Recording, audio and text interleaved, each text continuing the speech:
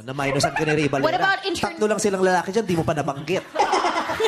Di ba sila Naiwan. Ang sakit nun, ano? Parang kunyari, tatlo kami. Si Ann, si Karil, at saka ako. Si sino pinakamaganda? Maganda po si ate at saka si Karil. Eh ako, so ano? Nga nga.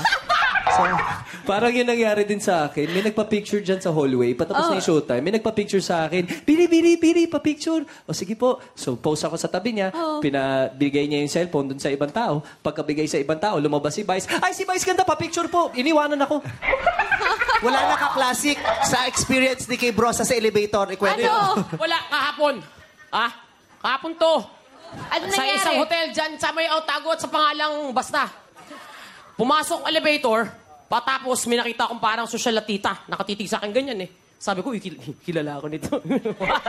Ay, parang doon ka showtime, tsaka sa umaga kay ganda.